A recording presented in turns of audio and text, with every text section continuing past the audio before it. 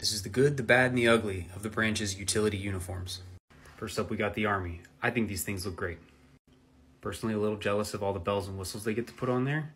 They keep they keep it looking neat, and uh, they get to display with pride their last deployment, their unit, and any schools they've gone to. And I know they're all just thanking their lucky stars that they're not wearing this crap anymore. I think they developed this in case we went back to a time when it was still black and white. They'd be really well camouflaged in that. Feel like Navy found a happy medium between the Marine Corps' MARPAT and the Army's patch system. They've still got the flag and their devices and the ranks in the same spot, but it's a digital camo. Looks good. And they're just thanking their lucky stars that it ain't this crap. See, this was developed for the Great Produce War, and the Navy was deployed to the Blueberry section.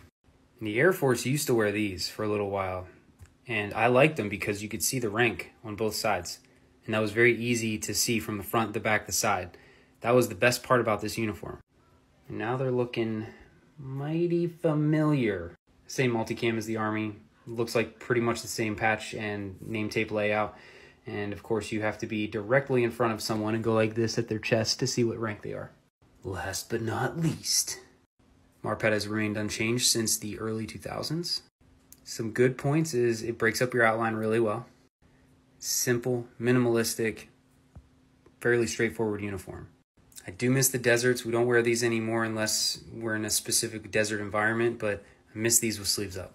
My least favorite parts about this uniform are it fades really quick and uh, it's hot. In the summer months, you're just sweating your balls off. And then in the winter months, it seems to trap absolutely no heat whatsoever.